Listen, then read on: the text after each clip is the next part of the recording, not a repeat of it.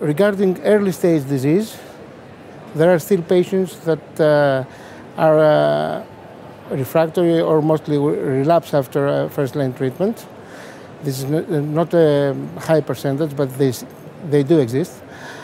And uh, another problem is that uh, many patients are exposed to radiotherapy and its uh, long term effects.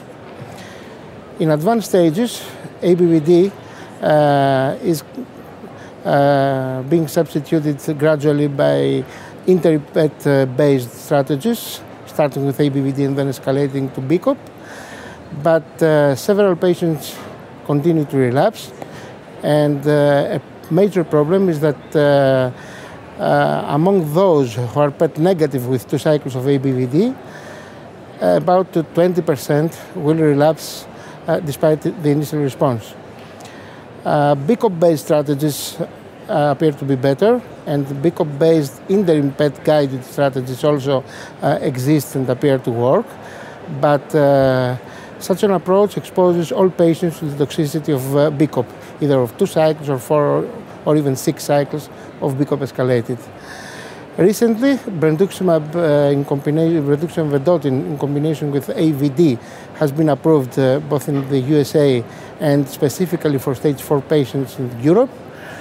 And uh, will have a place uh, on the, in the treatment of uh, advanced stage Hodgkin lymphoma, especially in the subgroups of poorer prognosis, because it appears from subgroup analysis that patients with stage 4 or extranodal involvement or even multiple extranodal involvement may gain, it, uh, may gain, the, gain the most benefit from brentuximab vedotin in combination with chemotherapy.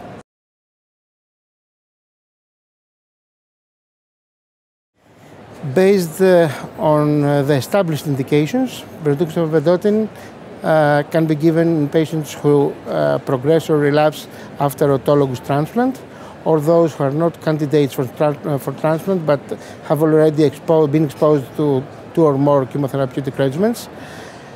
And also as a consolidation therapy for patients who undergo a transplant and are deemed to be at high risk of uh, further relapse or progression.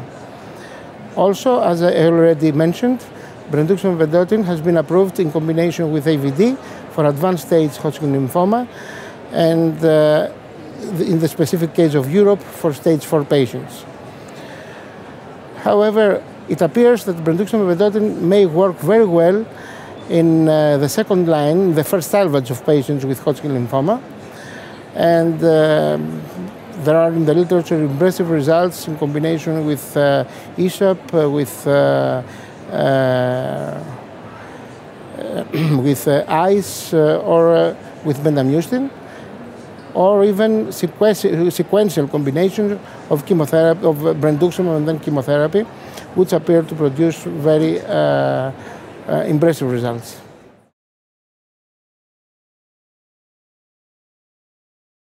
I think that uh, brentuximab will be increasingly used in the first line uh, in the specific subpopulations who are more likely to, to gain a benefit. Uh, probably we should uh, study uh, what we could do in case of interim positivity after, after brentuximab AVD after two cycles. And also, it appears that there is a possibility to incorporate brentuximab vedotin into BEACOPP escalated-like regimens uh, with uh, the omission of uh, bleomycin and uh, vincristine, hoping to maintain efficacy but reduce, toxi reduce toxicity. Finally, uh, brentuximab vedotin may be very helpful but has not been approved in this setting in the first salvage, as a first salvage regimen in Hodgkin lymphoma, in combination or in sequential, sequential regimens with chemotherapy. And this should be uh, a target for uh, uh, further development.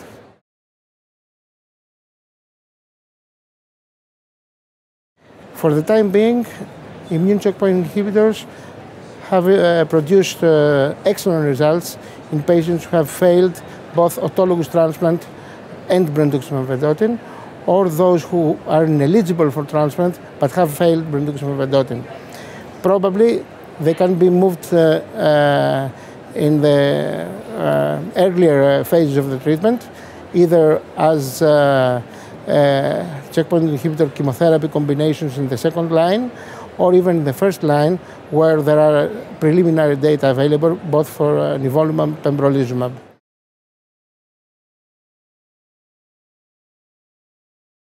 we, we could uh, expect that uh, the indications of uh, brentuximab vedotin may be expanded to include patients uh, with uh, uh, first relapse or first progression of Hodgkin lymphoma, and its use in the first line could be optimized.